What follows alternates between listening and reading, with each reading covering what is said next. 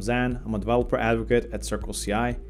Today I want to tell you about a new feature in our CI/CD platform and that's webhooks support. In this video, I'll explain what webhooks are, how they work, both in general and also for a CI/CD specific use case, what new possibilities this unlocks for developers using Circle CI, and how you can get started. Webhooks are the glue of the modern web.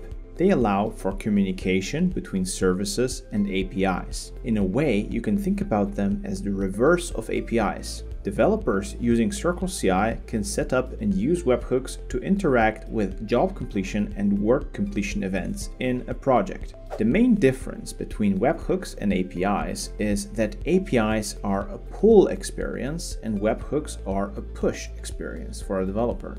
A client requests data from the API if the client wants more data, or check for whether that data has been updated, they need to make another request and potentially make more requests periodically. With a webhook, on the other hand, a service or client is set up so that it's a webhook endpoint and you give that endpoint to the other service. That other service, in our case that's Circle CI, will call your webhook endpoint when an event happens that you are interested in. Many places on the web use webhooks, from GitHub integrations, Discord chatbots, Slack, and many, many more. What can developers build with webhooks? CircleCI lets you set up webhooks for workflow and job completion events in a project, which will trigger when it has terminated either successfully or unsuccessfully. In a CI/CD context, webhooks lets you build all kinds of integrations like dashboards and data logging, project management tools, as well as notifying your downstream clients of new versions they need to update to. You can either set up webhooks on a single project or for multiple projects and then aggregate their events and process them in your backend in the way that works for your use case. Now that we've covered the basics, let's see how to implement a webhook on our own. It's currently possible to set up a new webhook for an individual project using the CircleCI web interface.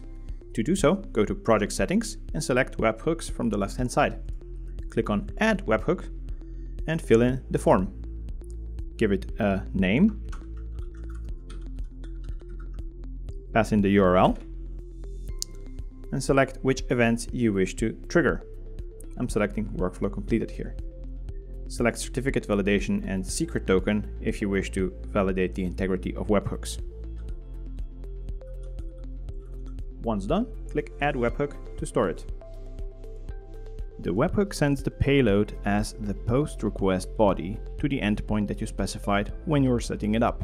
The payload we're looking at here is for workflow completed, and it gives us some details on that workflow, like its name, status, timings, as well as project and pipeline the workflow belongs to, the commit it's associated with, and the trigger that started the pipeline execution. The value of pipeline trigger will be webhook for VCS commit requests. Other possible options are currently API or schedule. Note that all objects in the webhook contain unique ID fields, which you can use to query the CircleCI API should you need more context about the payload. We've seen what the payload is, now let's look at how to handle it. Any server that can accept incoming HTTP requests will do. Here I'm using Node.js with Express. There's three things to do here. Check the integrity of the webhook using the secret that we supplied during setup. Respond to the request. Anything other than a 200 success response within a few seconds will be treated as a failed webhook and CircleCI will try the request again.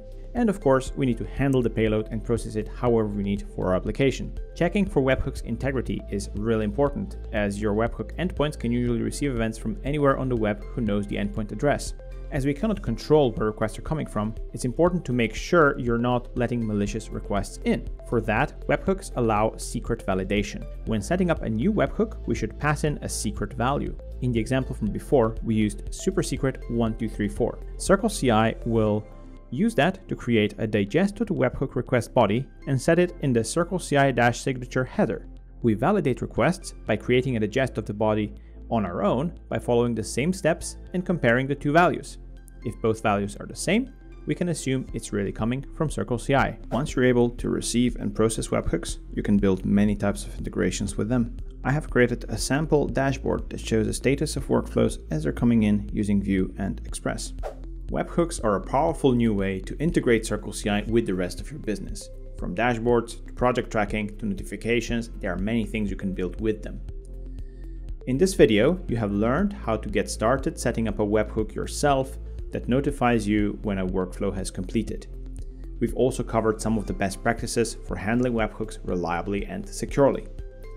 You can find the source code for the project on GitHub and learn more in the CircleCI docs. Links are on your screen and in the video description. I hope you find webhooks useful in your own projects.